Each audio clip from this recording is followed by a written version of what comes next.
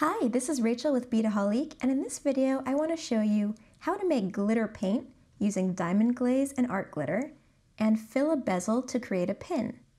Now here's an example I have here. This is a Nunn Design lapel pin in this elongated heart shape. See the back comes off, it's a really nice pin piece. And this is made with a mixture of diamond glaze and glitter. Diamond glaze is a really cool adhesive. It's watery, it dries clear, and it's mixable. So really cool material and it makes a nice glitter paint.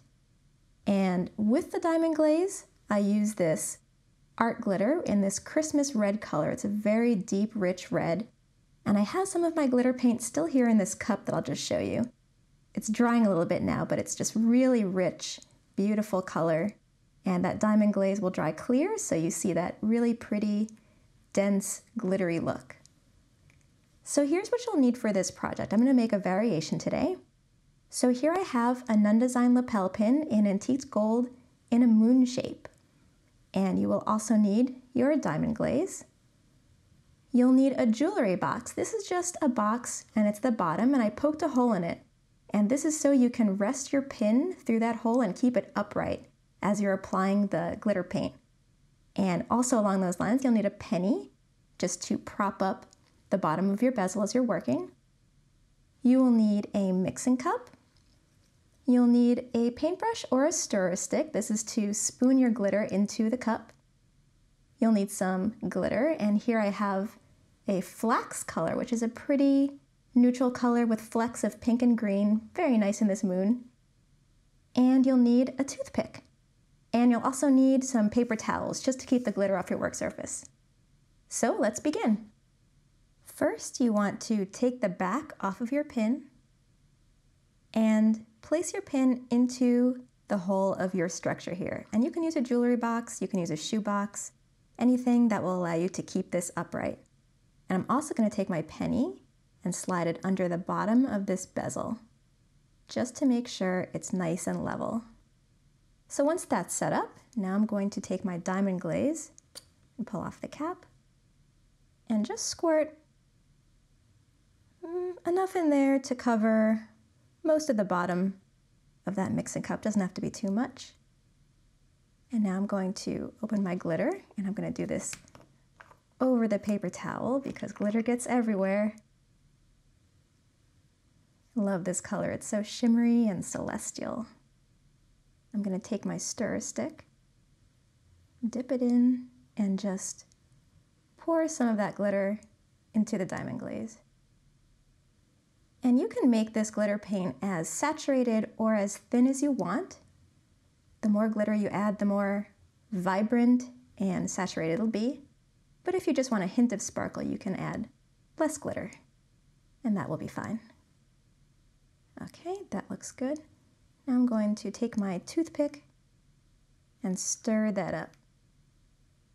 I'm not going to stir it too hard because I don't want a lot of bubbles to form in my paint because then you'll get bubbles in your bezel. And that is not good. I think I'm even going to make this a little bit more saturated, so I'm going to go ahead and add some more of this very fine glitter. And stir again.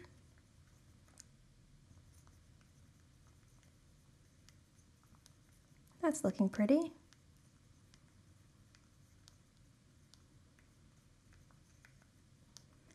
Okay, so now I'm going to go ahead and with my toothpick, I'm going to drip this paint into the moon bezel. And I recommend using a toothpick because, especially with these bezels with tight corners or interesting shapes, the toothpick can really get into those little itty bitty crevices and you can push that glitter paint around into the corner. So it's a very convenient precision tool. I'm going to keep adding this glitter paint into the bezel. Pardon my reach, I'll just turn this around so you can see it better.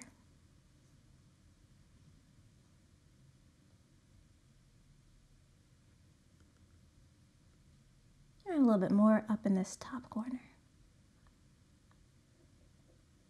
Okay, so that is your first coat. I recommend doing this in two coats because this diamond glaze will settle a little bit as it dries. It just compresses, gets a, gets a little, loses some of its volume. So I'm gonna do my first coat, then we'll leave that to dry, and once that has dried and settled down a little bit, I'll come back for the second coat. Okay, now we're back, and I just let this dry for about 20 minutes. And I don't know if you can see in the light, but the diamond glaze did settle as it dried, and it created kind of a valley inside the bezel. So that is why I recommend doing two coats, because if you try to glop all of your diamond glaze inside at once, it will settle kind of funny and you'll get a bit of an uneven surface and it'll be a little bit lumpy. So now that the first coat is done, you can see where you need to add a little bit more glitter paint. So I'm going to take my paint and it's still nice and stirrable, has not dried yet. So I will do a second coat of diamond glaze and glitter inside my moon bezel. Very carefully so it doesn't spill over the edges. And this way you can be sure exactly where you're putting that second coat and you'll hopefully have a nice even finish when it all dries.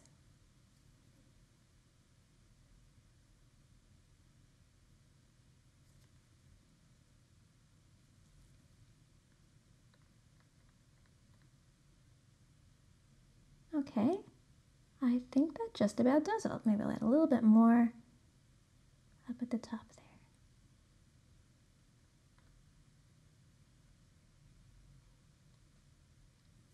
Okay, I think that's good for a second coat. So now I'm going to let this dry for the rest of the day just to be sure that it all seals in together. And this diamond glaze is going to really seal that glitter in there. You can touch the surface, you can even scratch the surface a little bit, and you're not going to have any glitter flaking off. So it's a great solid glitter paint.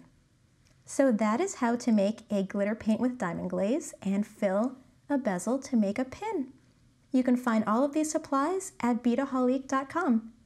Thanks for watching.